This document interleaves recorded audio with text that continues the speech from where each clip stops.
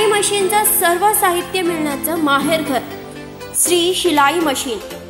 आमच्याकडे डर्बी स्वागत singer umbrella आदी नामवंत कंपन्याच्या शिलाई मशीन्सची विक्री व दुरुस्ती तसेच फॉल अस्तर गुंडी मायक्रोम कुंदन बॅच उलण लटकन लेस आदी मटेरियल एकाच ठिकाणी मिळणारं एकमेव ठिकाण.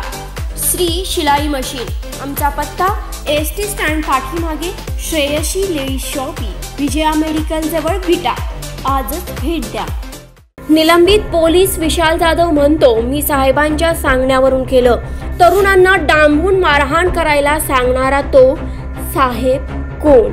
जामीन द्यायला आलेल्या दोन युवकांना दिवसभर तुरुंगात डांबून मारहाण करणारा व त्यांच्या खिशातील पैसे काढून घेतल्याचा आरोप झालेला निलंबित पोलीस विशाल जाधव म्हणतो की मी साहेबांच्या सांगण्यावरून केलं. माझं चुकलं मला मान्य आहे. पण मी एकटा आहे का? मी साहेबांच्या सांगण्यावरूनच हे केलं. निलंबित केलेल्या विशाल जाधव या पोलिसाची व्हिडिओ क्लिप वज्रधारीच्या हाती आली असून सदर क्लिपमध्ये विशाल जाधव हा थेट साहेबांच्याकडं बोट दाखवत आहे. आता विशाल जाधव म्हणतो ते साहेब आहेत तरी कोण? कुठल्या साहेबांच्या सांगण्यावरून विशाल जाधवने लोकांना मारहाण केली व डांबून ठेवले होते? त्या बारा हजाराचा आणि साहेबांचा देखील काही संबंध आहे का? एकूणच या मारहाण प्रकरणात विशाल जाधवने साहेबांच्याकडे बोर्ड दाखवल्याने संशय अजून बळावत आहे. जिल्हा पोलीस प्रमुखांनी विशाल जाधव याला निलंबित केले आहे पण अद्याप त्याच्यावर कोणताही गुन्हा दाखल करण्यात आला नाही. सदर व्हिडिओत विशाल जाधव त्या लोकांना मला माफ करा माझं चुकलं मिटवून घ्या अशी विनंती करतो आहे. त्यासोबत साहेबांचंही नाव घेतो आहे. त्यामुळे साहेब नक्की कोण आहेत असा प्रश्न या निमित्तानं निर्माण झाला आहे. तर चला पाहूया निलंबित पोलीस विशाल जाधव काय म्हणतोय. मी काल चुकलो चुकशन शंभर चुकलो. ऐका की जरा. पैसा विषय नाही काय? काय इतर बाबतीत चुकली का चुकली तुमच्या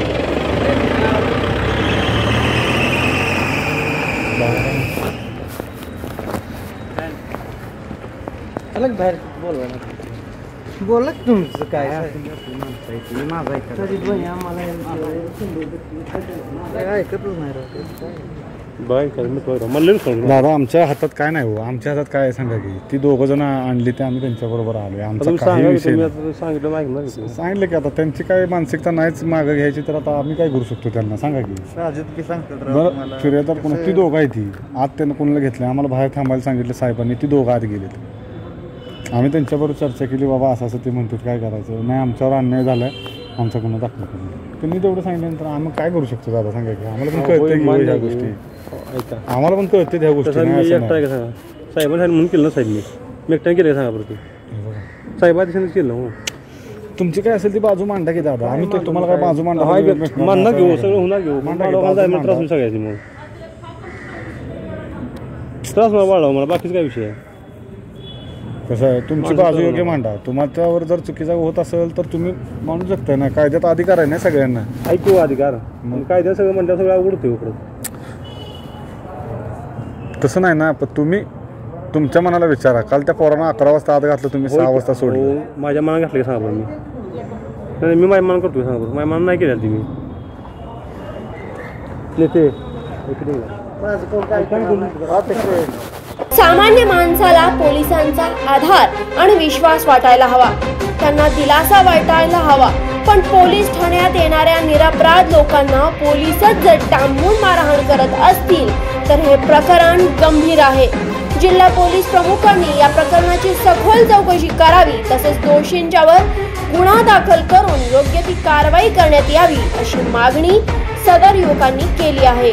तुमचं डॉक्टर व्हायचं स्वप्न साकार करणारी. मनातल्या स्वप्नांना साकार करणारी युनिव्हर्स अकॅडमी विटा.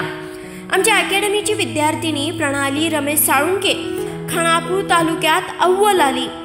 विद्यार्थी ते डॉक्टर असा प्रवास घडवणाऱ्या युनिव्हर्स अकॅडमीची खास वैशिष्ट्ये. अनुभवी व तज्ज्ञ शिक्षक वर्ग उच्च दर्जाचे स्टडी मटेरियल सुसज्ज वर्ग आणि अभ्यासिका वैयक्तिक लक्ष विद्यार्थ्यांच्या प्रत्येक शंकेचं निरसन आणि उत्तम मार्गदर्शन. तुमचे डॉक्टर होण्याचे स्वप्न साकार करण्यासाठी आजच प्रवेश निश्चित करा.